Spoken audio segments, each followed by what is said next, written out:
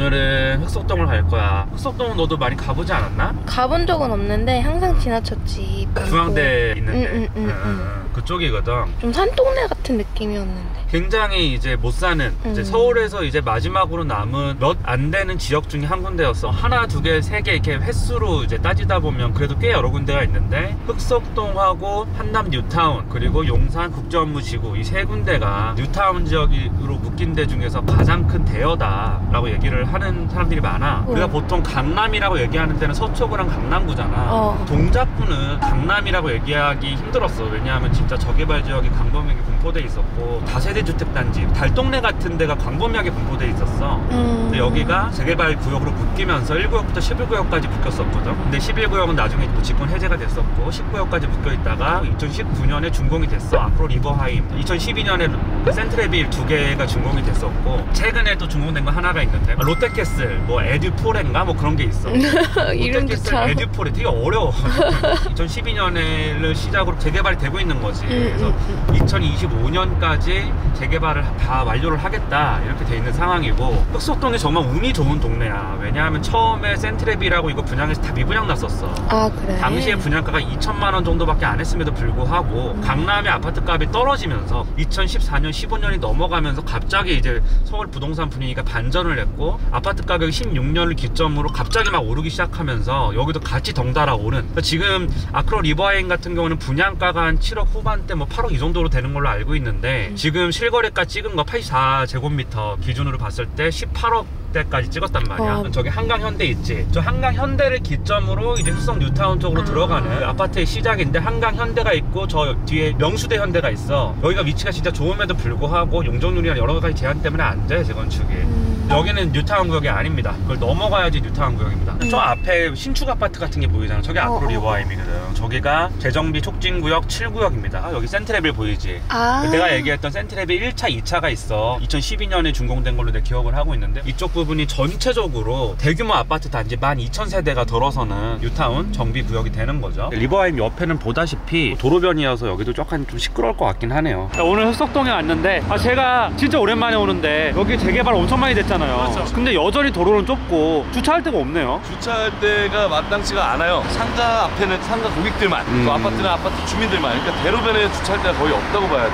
아. 안쪽에도 없잖아. 아, 그래 여기 오면 중앙대 병원에도 돼요. 아 병원에다가 소개 좀 해주세요 영정 씨야 뭐 자주 나오니까 여기 오늘 왜 출연하셨는지 네, 요즘에 미스터 트롯이라고 네. 방송에 출연해가지고 워낙 유명해진 맞아요. 배우 하는 친구인데 네, 네. 오늘 여기 흑석동에 또 오래 거주를 했고 네. 여기서 또 투자 실패 사례가 또 있고 투자 실패 사례로 나온 거야? 네. 안타까운 사연이 있습니다. 네, 안타까운 사연이 있어서 네. 흑석동 촬영한다고 하니까 기꺼이 또 이 추운 날씨에 네. 방문해 주셨습니다. 소개를 한번 네, 해주세요 반갑습니다. 저는 탤런트 출신입니다. 이일민이고요. 요즘 이게 이게 안 돼가지고 노래로 살짝 갔다가 지금 뭐 어떻게 될지 모르고 있는 마치 이 투자 비슷한 네. 그런 상황에 지금 놓여 있는 그런 배우입니다. 반갑습니다. 네, 아, 오늘 네. 입주민이 직접 해주기 때문에 훨씬 더 재밌을 거예요. 흑석동에 15년 사셨으니까 맞아요. 이제 흑석초등학교 건너편을 봐야 되는데 여기가 이제 1구역 그 외에 이제 다양한 구역들이 있어요 근데 여기서 가장 대장주는 여기 아크로하임 아크로 리버하임이 가장 대장주고 근데 리버하임이 초코하임 네. 그건가? 과자 이름? 비슷하죠 화이트하임이랑 아, 그 화이트하임. 네, 화이트하임 아, 리버하임. 네. 대장주인 아, 원래 우리 방송이 이래 아, 예. 이런 게 나중에 잘려서 그런 거야 편집자들이 아, 잘라서 우리 되게 재밌는 사람들이야 네, 뉴타운 지역과 뉴타운이 된 곳 안 된 곳을 파악을 하면서 또 김효경 씨가 여기다가 어떻게 사고 팔았는지 그것도 탔었지 한번 파헤쳐 보겠습니다 네, 가보시죠. 가보시죠 저 뒤에 보면 아크로 리버하임이 있잖아요. 아크로 리버하임이 흑석 뉴타운의 어떤 상징 같은 가장 아파트잖아요. 대장주. 여기가 흑석역 3번 출구고요. 근데 아크로 리버하임은 2018년 10월달에 준공 1073세대 요즘 시세가 4,500 정도 되더라고 평당 야, 많이 올랐다. 많이 올랐죠. 분양가 2,500. 맞아요, 네. 아, 많이 올랐다. 많이 올랐- 이런 거 안 잡고 뭐 하는지 모르겠어요.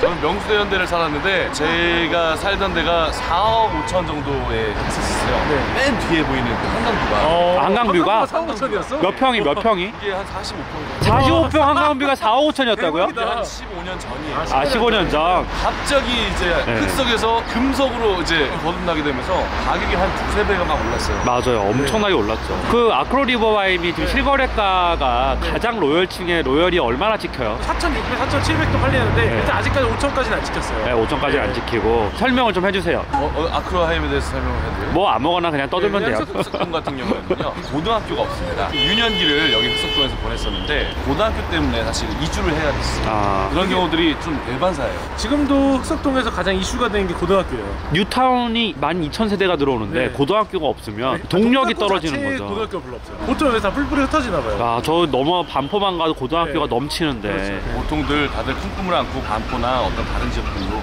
뭐 매매를 하고 내 반포로 넘어가기엔 너무 비싸지 않나? 갭이 너무 많이 차이가 나는데 내가 흑석이 언제 진짜 많이 개발됐구나 느낀 게 예전에 흑석동 이쪽은 절대 강남으로 넘어올 수 없는 동네였어요 맞아요. 너무 많이 차이가 나니까 특히나 여기 계신 분들이 경제적으로 여유가 있는 분들이 많이 없었기 때문에 여기가 막 개발이 되기 시작하면서 집을 팔 때 흑석동에서 가격이 많이 올라서 이걸 팔고 오겠다는 분들이 있었어요 되게 많이 맞아요. 대출 끼고 좀 이렇게 오겠다는 분들이 그래서 아 흑석동이 얼마나 올랐길래 요즘 이래 딱 찾아보니까 와 진짜 많이 올랐구나 많이 올랐죠. 그때 느꼈어요 저는 네. 뭐 최근에 이제 거래하셨던 그 유명한 분이 거의 평당 1억에 팔렸어요. 아, 유명한 분이라는 게 그 청와대 전 대변인. 그렇죠. 아. 1년 5개월 만에 3, 40% 올랐으니까 네. 그걸 전체 기부하신다고 하는데 언제 기부하실지? 기부하는 거 유튜브로 flex 한번 찍어주십시오. 네. 기대하고 있겠습니다. 이번에 국회의원 선거도 나와 총선 때 4월에. 뭐 하고 싶은 대로 다 하는 거죠. 네네네 그리고 이게 대한민국입니다.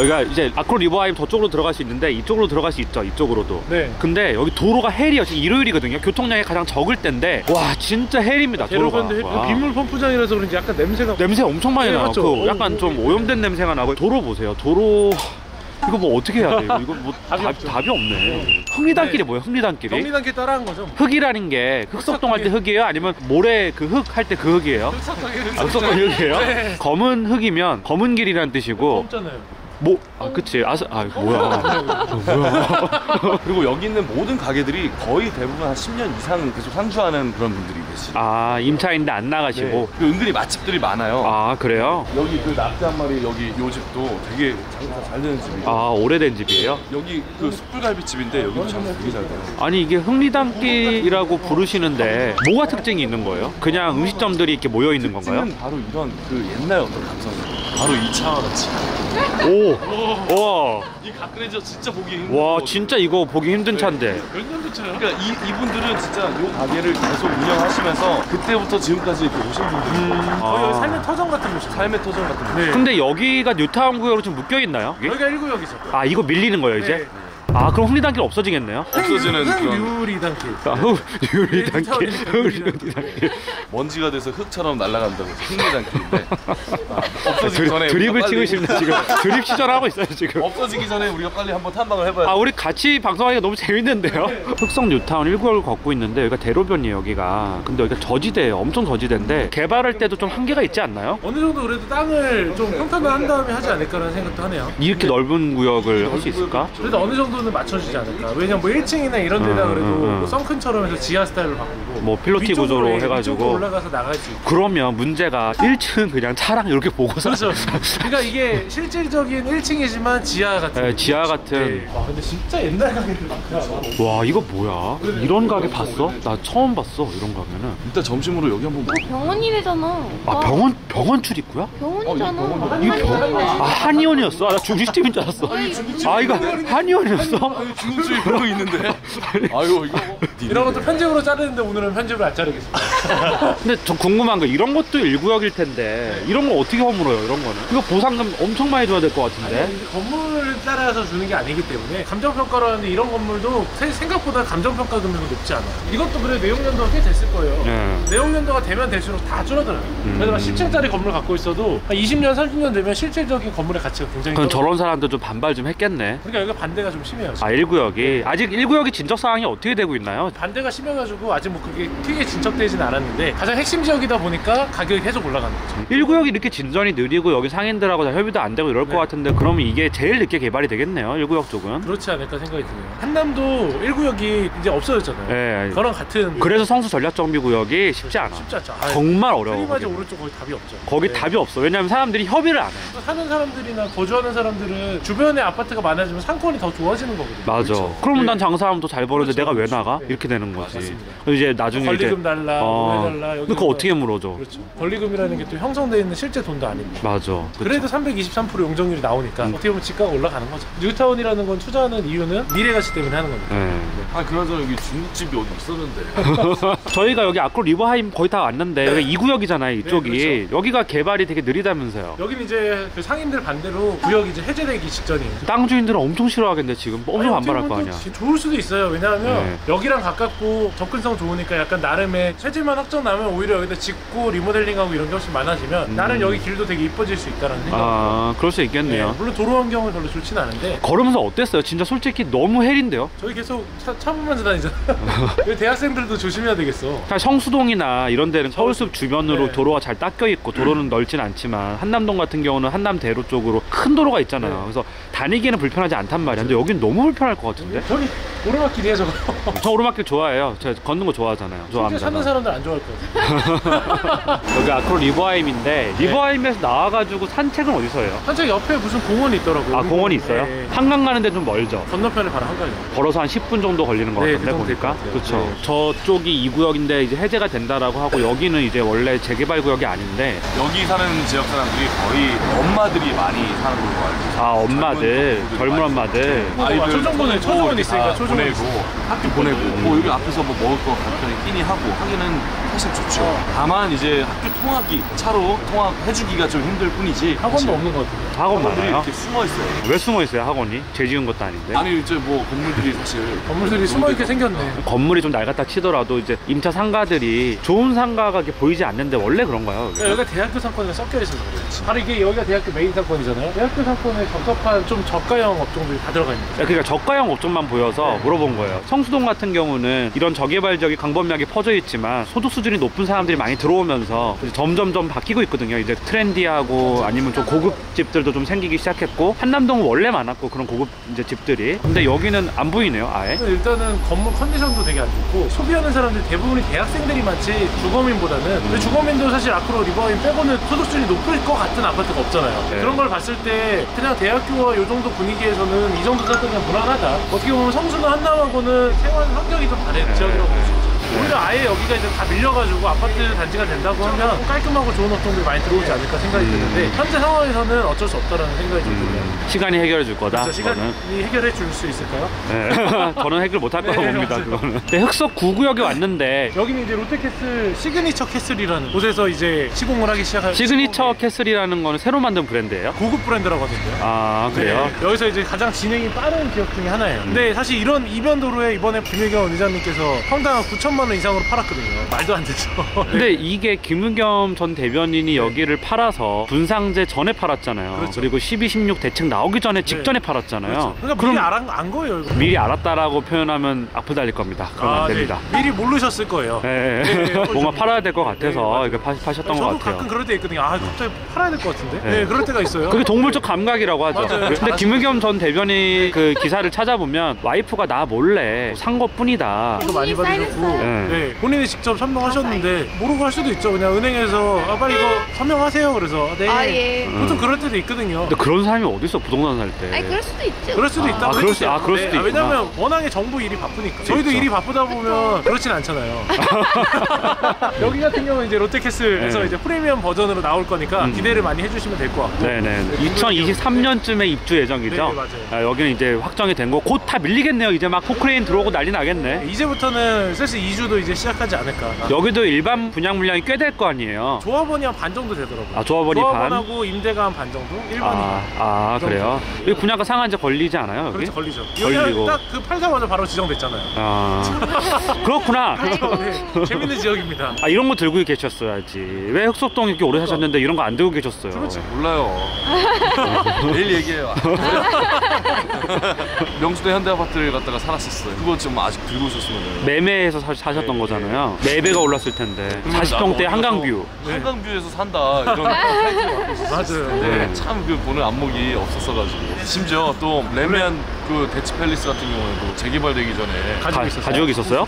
꼭 가지고 있었어야지. 근데 이게 투자를 전문으로 하는 사람 관점에서 보면 자산 투자해가지고 수익을 거두는 게 무슨 상관이냐라고 자유주의적인 생각을 가진 사람들에게 주장할 수 있는데 저도 당연히 뭐 자유 시장주의를 신봉하는 사람이지만 능력대로 배분되는 생각하는 사람인데 아파트는 그렇지 않은 것 같아요. 왜냐하면 너무 우연의 요소가 많아요. 쟤는 저 동네에 그냥 똑같이 대기업 월급쟁이로 시작해가지고 쟤는 그냥 여기 살다가 아파트가 20억, 30억이 되고 쟤는 그냥 저기 살다가 여전히 4억인데 여전히 한 6억밖에 안 되고 나중에 노후가 됐을 때 자산 차이가 너무 나기 때문에 이게 사회의 어떤 정의, 공정성을 반한다는 거죠. 그래서 이게 사회 통합을 깨뜨리는 요소라고 전 생각을 하거든요. 너무 많은 과도한 차익이 나서 계층 간의 불평등이 우연의 요소로 이렇게 좌우가 자꾸만 된다라고 하면 이건 정말 불평등한 사회인 것 같아요. 그래서 저는 기본적으로 이런 건 잡아야 된다고 생각을 하는데 아니 잡겠다라고 나온 사람들이 자기들이 투자를 하고 왜 이게, 되, 이게 되겠냐고. 그러니까 정보의 불균등의 문제도 있고 뭐 정부 관계자 꼭 김의견 전 대변인 얘기하는 건 네, 아니고 제 주변에도 뭐 할아버지가 예전에 박정희 정권 때 장관 해가지고 거기 막 개발되는데 땅 사서 뭐 대박 난 집 되게 많아요 주변에 보면. 삼거리 포차 건너편에도 박정희 대통령이 하사했던 땅을 갖고 있는데 네. 그 땅이 평당 1억이 넘었어. 네, 그러니까 정당하게 사업을 하고 정말 열심히 막 일해서 부가가치 창출하고 고용 창출도 하면서 돈을 번 게 아니라 이렇게 자꾸만 벼락 부자가 되고 이걸로 인해서 계층 불평등이 생기면 이게 정의로운 사회라고 할 수 있나 이게 하여튼 뭐 전 그렇게 생각합니다 오늘 흑성 네. 뉴타운 쪽 돌아봤고요 네. 좀 수박 겉핥기식으로 돌긴 했지만 15년 사셨잖아요 네. 먼저 여기 좀 정리를 어느 정도 좀 해주시겠어요? 주거지로서는 나쁘진 않다고 생각해요. 이 동네에서 알아서 다 해결을 하시는 네. 분들은 여기 앞에 그래도 은근히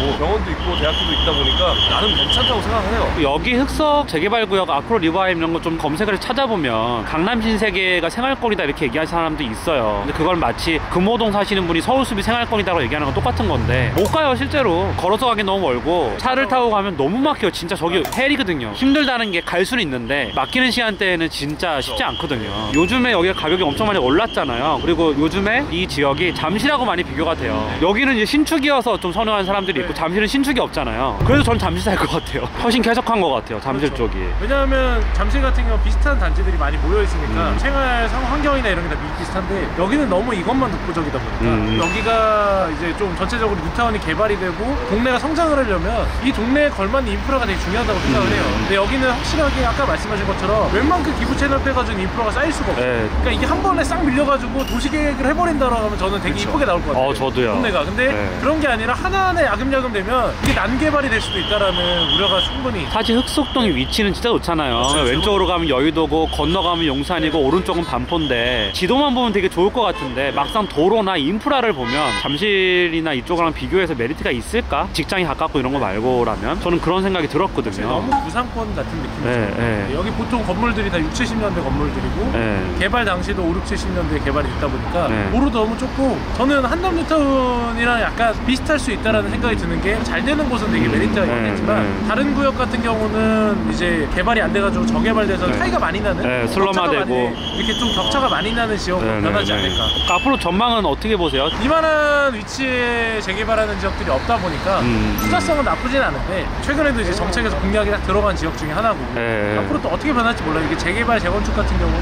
특히 뉴타운 이런 거는 리스크가 너무 크잖아요. 맞아요. 너무 정책에 따라 가지고 움직임이 너무 심하다 보니까 일단은 나쁘진 않을 것 같아요. 예, 무조건 여기는 좋아질 수밖에 없는 동네이기 때문에 좋아지겠지만 음. 그게 시간 문제인데 저는 30년 보자. 그래도 흑석은 재개발 지금 사업이 되게 빠르게 진행되고 그렇죠. 있어서 네, 1년마다 한 번씩 와보는 것도 재밌을 것 같아. 어떻게 네, 변해가는지. 맞아요. 사실 그렇죠. 부동산이라는 게 정부 정책에 따라서 너무 왔다 갔다 해서 예측하는 게 정말 어렵죠. 그쵸. 예, 아크로 리버하임에 그 사는 지인분 있잖아요. 네. 그 뭐라 그래요? 그 방금 저희가 바로 통화를 예. 사시는 분은. 한강 접근성이 생각보다 또 약간 좀 불편한 도로들을 많이 걸어야 되고 네. 그다음에 한 10분 정도 걸어가야 되다 보니까 네, 네. 생각보다 이용을 많이 안 한다 라고 하더라고요. 네, 네. 그리고 단지는 좀 괜찮은데 네. 단지 주변에 이제 배우 상권들이 특별하게 없다 보니까 네. 음식 같은 경우도 어디 사 먹지 않고 거기다 배달시켜 먹는다고 하는 네, 거고 네. 아니면 아예 나가버리던지. 예, 강남으로 가버리던지. 네, 근데 아예. 또 가자니 또 교통도 좀 불편하고. 예. 그래서 오히려 차 두고 9호선, 9호선 타고 다니는 경우도 많다라고 하더라고요. 아. 전체적으로 그냥 아파트 살기는 좋은데 인프라가 별로 안 좋다 보니까 예를 들어서 서울숲 없는 트리마제랑 비슷한 거죠. 아우 그럼 안 누가 가? 그럼 아무도 안 가지. 네. 걸어서 뭔가 이용할 만한 소득 수준이 어느 정도 되는 사람도 이용할 만한 데가 없다는 거는 그건 그거는 되게 큰 단점이라고 저는 생각해요. 전체적으로 흑석동이 발전하려면 도시계획처럼 가야 돼. 불가능하지 않을까요, 근데? 너무 이권이 많다 보니까. 맞아요. 서울 아파트가 다 오르면서 이미 엄청나게 오르면서 여기서 더 큰 동력을 받으려면 정부가 뭐 정책을 좀 풀어주던지 맞아요. 아니면 다 같이 또 한번 점프업을 해야 되는데 저는 쉽지 않을 거라고 아, 보거든요. 아, 네 오늘 진짜 수고하셨습니다. 오늘 잘 돌아왔습니다. 재밌게 오늘. 봤습니다. 네.